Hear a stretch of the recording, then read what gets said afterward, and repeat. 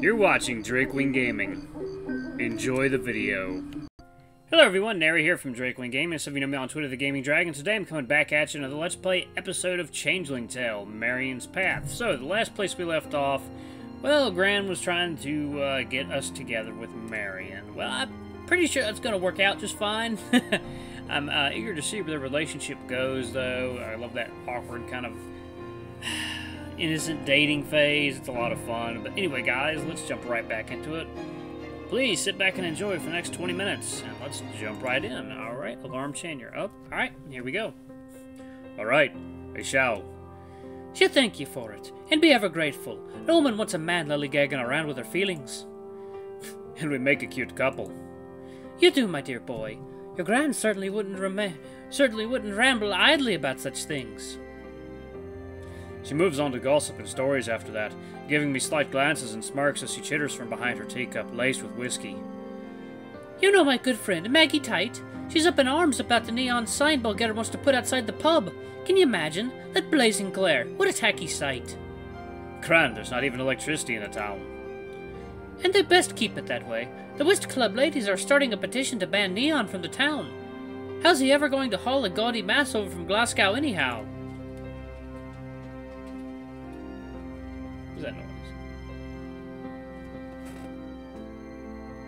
Oh, you cat's doing? Oh, being silly. Now, Rabina, she's been going on about us about the devil. About she's been she's been going on about having the devil's time putting together everything for the church picnic. You know, if not for these old bones, I'd help out and attend. But 'tis hard enough on my back to sit in the pews for the length of the pastor's services, much less out on a bonny, much less out on a bonny bare hillside. Malcolm, you listening? About half, I it lazily. That means if you're planning on going, you just have to find someone else to take with you. The girl next door, perhaps? I laugh. A sly matchmaking rascal is who I live with now, I see.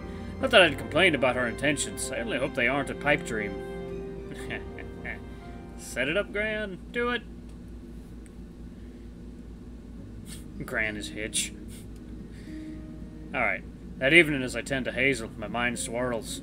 One thing, however, cuts through my musings to grab my attention. My nose twitches. Uh, how long's it been since, uh, since you last had a good bath, girl? Hazel huffs. I take that to mean ages. The musty odor of hay and, well, not hay, hair, becoming as overwhelming to my senses as anything I'm carrying around internally. Come, little lady. Let's get to scrubbing. Cut. She's all wet. She's like, what the fuck are you doing? I tote out a full pail of water, a dense bristled brush, and a tablet of lye. The water foams quickly, and I tackle Hazel's fur and mane, starting with her haunches. Hey now, don't buck at me. Settled. You smell fresh as a daisy, or at least as pleasant as the bluebells you adore. Circling the brush in her thick undercoat, I try hard to think of anything other than Marion. Her smile, her eyes, her sweet figure.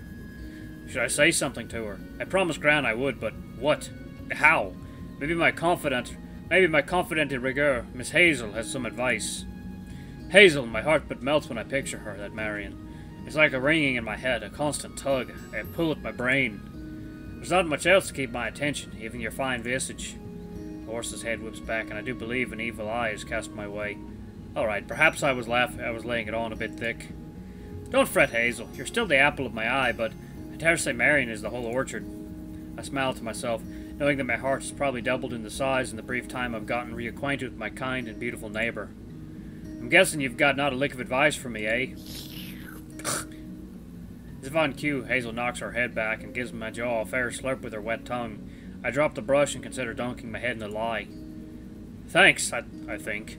Alas, I'm not sure Marion would respond so favorably to a big old slurp. the scrub and rinse my obstinate beauty. Look over my work. She positively glows. You're a good dame, Hazel, an even better listener. Remind me to consult you for advice more frequently. Hazel glares, letting me know that she would prefer I do no such thing. Oh, God, what an attitude she has. Oh, we all love Hazel, though. Another struggle to get my horse back into the stable for the evening, and re reward myself with a tumbler of scotch back inside the home. I could hear Gran snores and decided to retire for the night as well. It's an evening of dreams.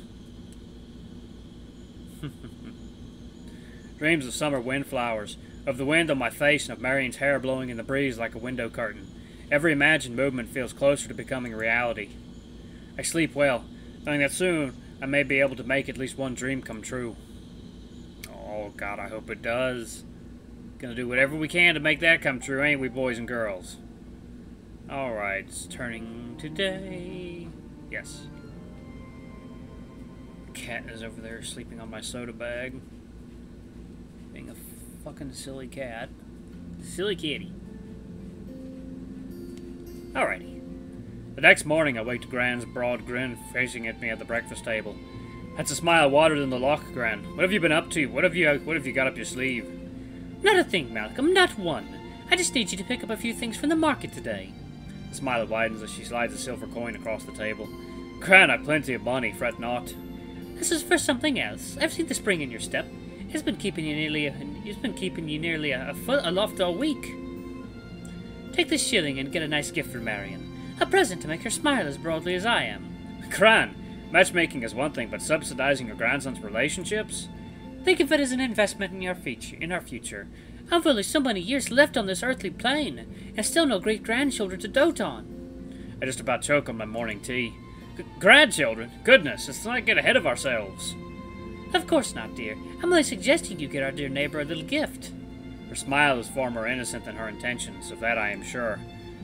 All right, of that we are the same of the same mind. Any suggestions? Something small and memorable, a treasure with which she will never want to part. That's a lot of pressure, finding the perfect gift.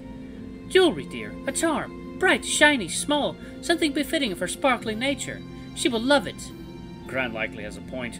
If I take her advice, I don't take her. I don't take her shilling, sliding it back across the table. Very well. And to you I return the small shiny thing. No buts. Gran pouts, but I stand my ground. After I clean up the morning dishes, I kiss Gran atop the head, saddle up Hazel, and head to the town shop. Ooh, okay. What we got? The market is crowded as usual. While most stalls are geared toward produce and household goods, a few dabble in things for, for the missus. I keep an eye out for a small token or trinket to pass along to Marion, if only to thank her for her kindness and warmth, and to cheer her up. She still misses Jessie something terrible, and Grace has been and Grace has been little help to ease the concern. Mind, it couldn't hurt if the gift impressed Marion a wee bit too. I do truly want want her to know I think of her constantly. It's a tall order. I wonder if the market has something that fits the bill. The gift must remind her both of me and my fondness for her. Hmm. Oh, I wonder. Among stalls of bread, fruits, nuts, and sundries, a small row of charms catches my eye. Hmm. Ha! Ooh, oh. Yep, yep, that'll do it. That, that matches her. It shines brightly like Marion when she smiles. The tiny silver cowbell, just small enough to fit in my palm. A hand reaches out for the trinket just as mine does. It pulls away when I pick up the bell. I was just going to recommend that one for you, Malcolm. Looks to have a bit of a magic to it. Effie, it's so odd to encounter you here. I look up when I realize it's Effie's voice. She's staring at me, plain-faced. Effie, how nice to see you again. How you've been? Fairly well, Malcolm. It's always a pleasure to see you too. You took off so quickly last week after church. I was hoping to run into you again to catch up. You... Mm. You were?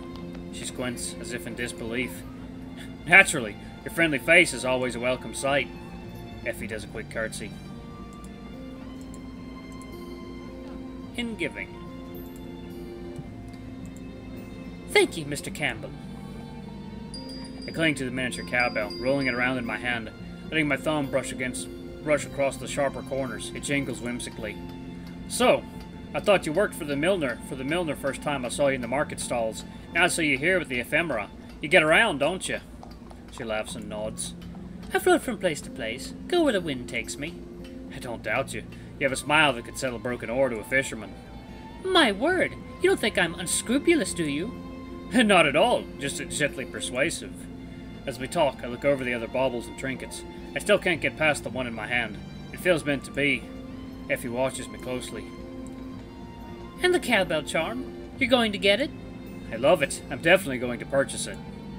Effie pauses and wrings her hands. It reminds you of someone special, doesn't it? Am I such an open book? Yes, very much so. She will like it. You think so? Well, I certainly would. A gift from a gentleman ought always be appreciated and welcomed, that's for sure. How much for the cowbell? Five shillings? She gives me a knowing look. I root around in my pocket for the coin, for the coins, but Effie shakes her head. No need, Malcolm. It's on me. May the new owner be delighted to receive it. Perhaps even as delighted as you are of speaking of her.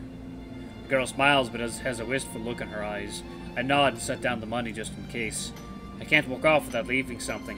Take care, Effie. Good to see you once again. I take off to the market stalls and glance back. Either merchant at the booth pockets the coins before Effie can, and seems to ignore her in the process. She looks up at him and shrugs, and she adjusts her hat, brushes down her attire, and walks out into the crowd, disappearing as swiftly as she appeared. I can't figure that girl out. As much as that friendly face with that oversized hat and those charming glasses puts me at ease, deep down, something feels off. Something I can't quite put my finger on, but I don't dwell on it. Instead, I stock up on the other needed goods while keeping an eye out for an auburn, for an auburn head of hair. A sign of Marion. I wonder when I will see her next. My hand nervously fumbles with the tiny gift in my waistcoat pocket. What if I'm being too forward? Or worse, what if she thinks I'm calling her a cow? Don't be ridiculous, Malcolm. Marion's an understanding lass. She'll accept it for what it's meant to be. I hope. I'm sure she will.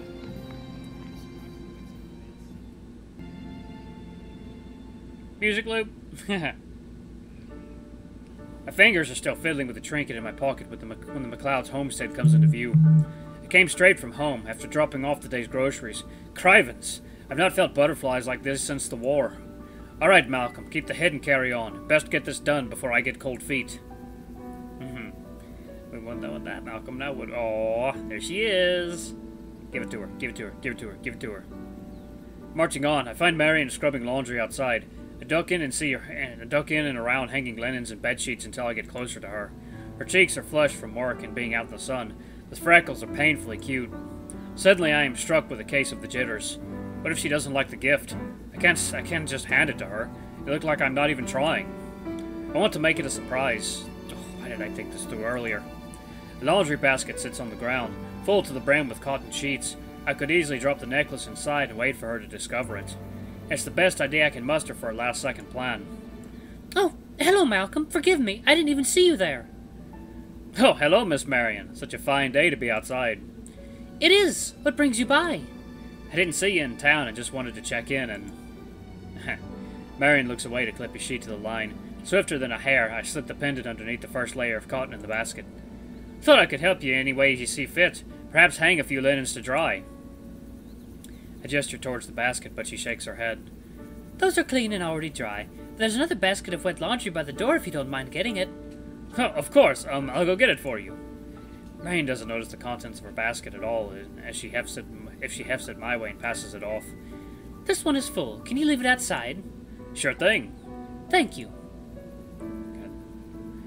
Gotta find another creative way. And giving we receive. That didn't work. I dropped the basket inside the doorway and rifled through to get to the pendant. No! Then I haul the basket of wet linens back to the lines, where I spot Marion's favorite cow, Fiona, weaving her hefty frame through the hanging laundry. Oh, Marion, she must give her cows free rein. No wonder they like her so much. It's a good thing it's just laundry, not a china shop. Fiona's horns get caught on the sheets, and it gives me another idea. Set the basket down and pretend to start clipping the fabric to the lines. Undestinedly, I slip the pendant around Fiona's long, curving horn. I can't wait to see Marion's face when Fiona clumps over. She's gonna go running off, isn't she? It ends up being a bigger mistake. Oh, God! Malcolm, can you help me reach the top? Grace tied the line too high for me, that imp. Here, let me get that for you. I stand behind Marion, grabbing hold of the clothespin and fabric. Our bodies press into each other, and I get a tickle on my chin when it brushes against her hair. My mind goes to mush until I see Fiona ambling back to join the herd. The light catches the pendant, and I panic about how to get it back now. Mm-hmm. Oh. Thank you. Anytime. Uh, I'll just continue over here then, eh? I pin, I pin and clip, keeping a, keeping one eye each on Marion and Fiona. The, he the heifer has rejoined her shaggy compatriots and is recognizable only for the shiny object on her head. My hands wrinkle and chap from handling the damn cloth for so long. Finally, my savior comes in the form of Marion's little rascal of a sister. Grace shouts from the window. Marion, your bilberries are boiling over. What? Grace, take them off the fire. Oh, I'll be right back. oh, God. By the time Marion races inside, I'm squishing my way through a herd of two dozen cattle, shoving ribs and rumps around until I get to Fiona. Take the pendant off her horn, thanking her for her efforts. Of course, I get nothing but a hearty huff in response. And they sure are fluffy. I'm back at my post by the clothesline when Marion returns, looking frustrated. That girl, I swear. Why can't she get anything right? All I have is a pot of burned bilberries and blue stains on the floor. I'm hot and sweaty from pushing around heifers, and Marion is red with anger from dealing with her sister. A new, blessedly simpler idea presents itself. Hey, Marion, how about a hug? It catches her off guard, but I can see the enmity quickly disappear. What? Oh, of course, I, I could really use one. Do it! Do it, you sly fox. We embrace. Her hugs are tender and sincere, like her soul, and I'm thrilled to finally have the gift placed where it should be. I let my hand linger under the charm, now hanging from her neck. oh, she's gonna love it. Oh my, what what is this? She fingers the necklace, causing it to jingle delicately. It's just a small gift. Oh, Malcolm, you didn't need to do that. Marion's already red face blushes even more deeply. Seeing you is a big enough present. Likewise, but I found something at the market this morning that reminded me too much of you to pass up. It's a token of my appreciation. She lightens up brighter than the mid-morning sun. Oh, Malcolm, it's absolutely beautiful. How thoughtful. I know how attached you are to your herd, especially... Fiona. That, yeah, that's the one. I glance over at my failed partner in crime, but she just stands there, a thin string of drool falling from her bottom lip. I'll cherish this, Malcolm. It's adorable and sweet.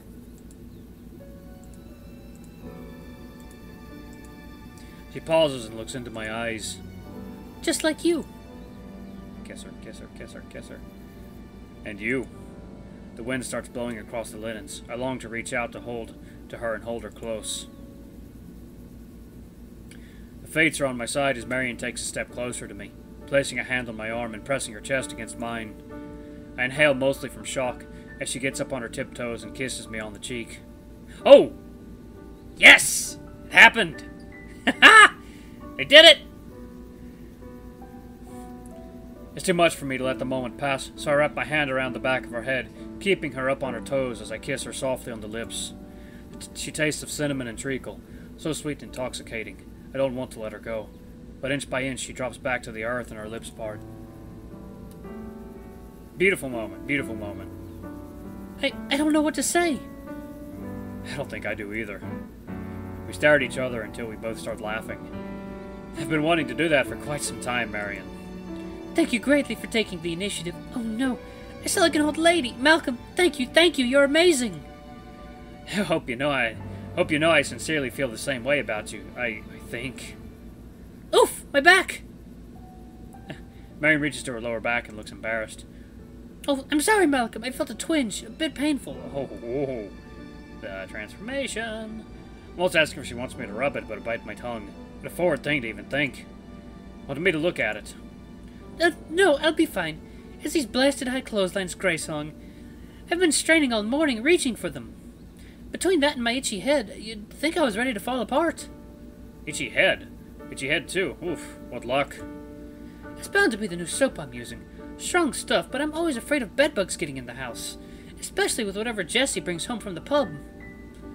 A fine group of flea bags she hangs around. I always say, oh, I suppose I don't have to worry about that anymore, do I? Look at me, Prateron. I'm so nervous. Oh, I shouldn't say that. Marion is talking at a fast clip. Our hearts must both be beating at a frantic pace. Say, Malcolm, are you going to the church picnic tomorrow? It's nothing big, just the congregation getting together for a good time. Should be a bonny day for it. Is that tomorrow already? In my head, I weigh Gran's none too subtle hint against my most recent church experience. Yeah, sure. She's gonna be there, absolutely. As a matter of fact, yes. Oh, wonderful! If you wouldn't mind accompanying me, I would really enjoy that. Don't worry about food, I'll be bringing lots. And thank you for. She blushes again from ear to ear. Thank you for the cowbell. I will treasure it. And you. I beam and vow that next time I'll make sure to earn her affection through actions, not simply tokens. Marion, you are dear and a love. I can't wait to see you again for the picnic. We'll make it a grand time. That we shall. I consider kissing her again, but believe us both to be still reeling in surprise from the first. Instead, I bid my farewell and float all the way home.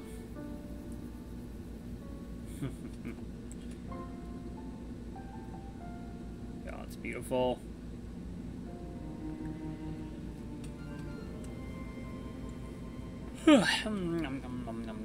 mm, okay, I think I'm actually going to pause it right here. Yeah, there you go. I'm going to pause it right here. Alright. What's this one called? Something's changed. Alright, we're getting into the real meat of it. Ah, alright, that was a good episode. Thank you guys so much for watching. That's been a new episode of Changeling Tale, Marion's Path. Don't forget to like, comment, subscribe, ring that notification bell, leave a super thanks if you can. It always helps. Until the next video, I love you all. I'll see you next time. Bye-bye!